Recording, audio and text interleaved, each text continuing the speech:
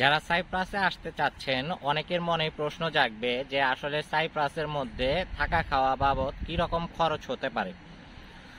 তো আসলে সাইপ্রাসটা মূলত দুইটা ভাগে ভাগ করা। একটা তুর্কি সাইপ্রাস, একটা সাউথ সাইপ্রাস বা ইউরোপ সাইপ্রাস।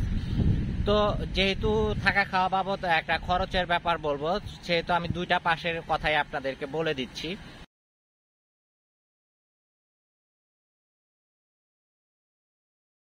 তো যারা তুর্কি সাইপ্রাসে আসবেন, তুর্কি সাইপ্রাসে থাকা খাওয়া বাবদ আপনার সর্বোচ্চ ছয় থেকে সাত হাজারের মতো খরচ যাবে। যদি আপনার এক্সট্রা কোনো পকেট খরচ না থাকে এবং যদি এক্সট্রা কোনো খরচ থাকে, তাহলে সর্বোচ্চ দশ হাজারের মধ্যে কমপ্লিট করে নিতে পারবেন।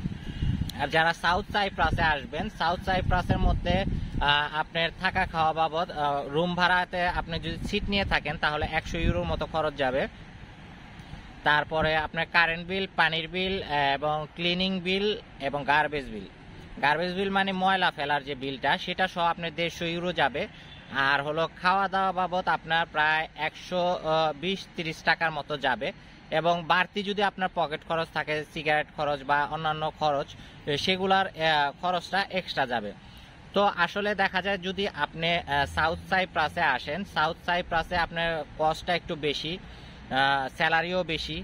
তো দেখা যায় সাউথ সাইপ্রাসে যদি থাকতে চান আপনি, তাহলে সিটের বেলায়, সিট নিয়ে থাকলে আপনার তিনশো থেকে সাড়ে তিনশো ইউরোর মধ্যে মাসে আপনার একটা কমপ্লিট করে নিতে পারবেন।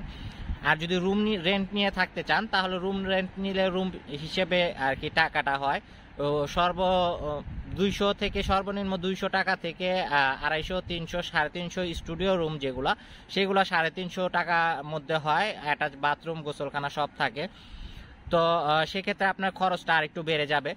তো যারা আসলে ভাবতেছেন যে ইউরোপ সাইপ্রাসে আসবেন, তারা অবশ্যই এই বিষয়টা খেয়াল রাখবেন। এবং তুর্কিতে, তুর্কি সাইপ্রাসে আর ইনকামটা হয় আপনার চল্লিশ থেকে পঞ্চাশ হাজার টাকার মতো মাসে। সর্বোচ্চ আপনার ষাট হাজার টাকার মতো হয়। এবং এই কারণে ওইখানে খরচটাও কম।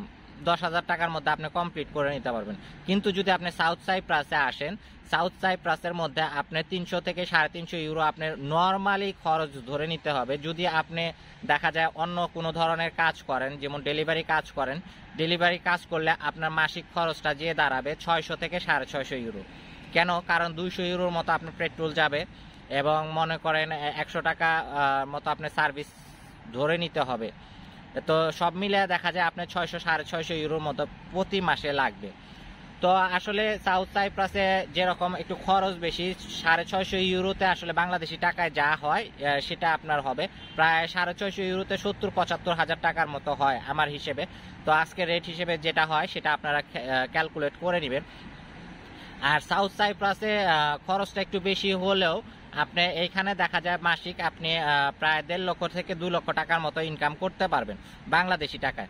একদম খুবই ইজিলি এটা খুব মিডিয়াম কোয়ালিটির একটা স্যালারি ঠিক আছে? যদি একটু পরিশ্রম করতে পারেন তাহলে এর চেয়ে বেশি বেশি হয়ে যায়।